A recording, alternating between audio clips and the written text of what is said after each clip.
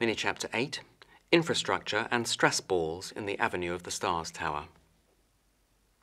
Seated at her office in the north corner of the same building, gazing through the window up Avenue of the Stars and over the intervening towers towards the Los Angeles Country Club, is a crisply presented woman, white and in her early forties, wearing a black business jacket over an open-necked navy blue shirt, her coiffed blonde hair making a sharp contrast with the dark grey metal safe positioned behind her desk.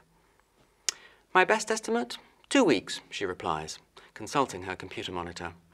Getting clearance for construction under a flight path beside an airport is a slow process. Near the desk phone itself are two small navy blue stress balls of the sort provided at the start of compulsory training days for office staff, manufactured from the kind of rubbery material that expands back out to its original sphere after being compressed, each ball featuring the instruction THINK printed on its surface. Observing with a frown that the crisp white of those capital letters has accumulated a thick layer of dust, Ashley touches the fingers of her right hand onto her tongue as she continues to listen to Dud.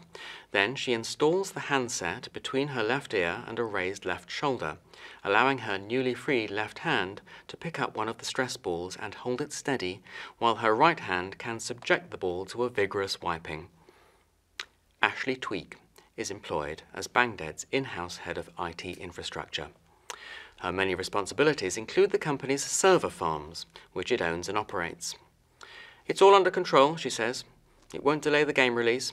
And she falls silent as her boss resumes talking at her down the line, while she raises her glasses onto her forehead and peers short-sightedly at the stress ball.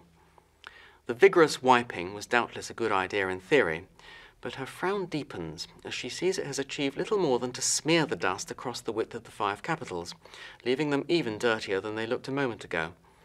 The situation deteriorates further when the stress ball slips out of her hand and bounces away over her desk. She launches her arm forward to pursue the ball before it goes scudding across the office, and the telephone handset drops out from between her ear and her shoulder, falling to the floor. Ashley, says Dud's electronic voice from carpet level. What's happening? Ashley, are you there? Stressed, she gives up on pursuing the stress ball and stoops for the handset instead, remembering, at least, to be careful not to bash her head on anything as she sits up again. Yes, I'm here, and I'm fine, thank you for asking. Uh, I'm sorry, do carry on.